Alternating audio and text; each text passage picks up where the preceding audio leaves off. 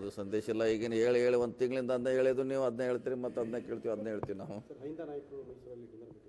ಯಾವುದ್ರೆ?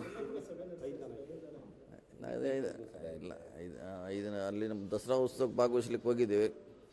ಮತ್ತು ಇನ್ನು ಹೋದ್ಮೇಲೆ ಅಲ್ಲಿ ಉಸ್ತುವಾರಿ ಸಚಿವರು ಹೋಮ್ ಮಿನಿಸ್ಟ್ರು ಬೇರೆ ಬೇರೆ ಮಂತ್ರಿಗಳಿದ್ದರು ಸೊ ಸಹಜವಾಗಿ ಭಾಗವಹಿಸಿದೆ ಅಷ್ಟೇ.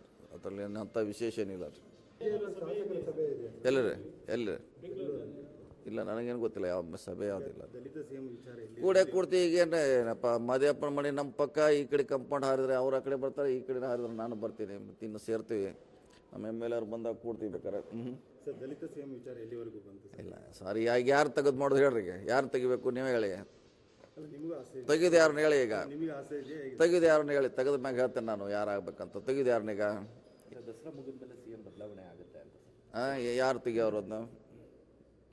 ಯಾರು ಹೇಳಿದ್ರು ನಿಮ್ಗೆ ಚರ್ಚೆ ಆಗ್ತದೆ ಚರ್ಚೆ.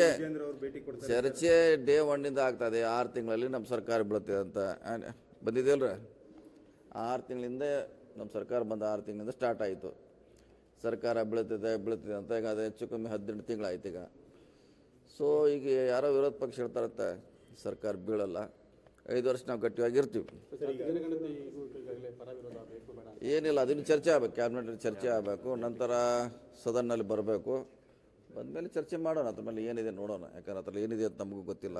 ಎಲ್ಲಿ ಕೋಳಿವಾಡರು, ಎಲ್ಲಿ ಹರಿಯಾಣ, ಎಲ್ಲಿ ಸತೀಶ್ ಜಾರಕಿಹೊಳಿ ಏನು ಸಂಬಂಧ? ನೀವು ಕೇಳುವಂಥ ಪ್ರಶ್ನೆ ಸಂಬಂಧ ಇಲ್ಲದ್ದು. ಎಲ್ಲ ಅವ್ರು ಹೇಳಿರ್ಬೋದು ಮೂಡ ಹಗರಣ, ಅದು ಹರಿಯಾಣದಲ್ಲಿ ಏನು ಪರಿಣಾಮ ಬೀರ್ತೈತೆ? ಯಾವ್ದು ಮೂಡ ಎಲ್ಲಿ ಏನು, ಯಾವಾಗ ಚಿಂತನೆ? ಅವ್ರಿಗೆ ಕನ್ನಡ ಭಾಷೆ ಬರೋಲ್ಲ ನೋಡಿ ಸಂಬಂಧಕ್ಕೂ ಸಂಬಂಧ ಇರೋಲ್ಲ. ಯಾರೋ ಏನೋ ಹೇಳಿದ್ರೆ ಅಂತ ಅದಕ್ಕಾಗೋಲ್ಲ ಮೂಢ ಹಗರಣಕ್ಕೂ ಸಂಬಂಧ ಇಲ್ಲ. ಮೂಢ ನಮ್ಮ ರಾಜ್ಯಕ್ಕೆ ಸೀಮಿತವಾಗಿರುವಂಥ ವಿಚಾರ, ಅದೇನಿದೆ ಇಡೀ ರಾಜ್ಯ, ದೇಶಕ್ಕೆ ಸಂಬಂಧಪಟ್ಟ ವಿಚಾರ. ಅದ್ರ ಪಾಡಿಗೆ ಅದು ಎನ್ಕ್ವೈರಿ ನಡೀತಾ ಇದ್ದಾರೆ.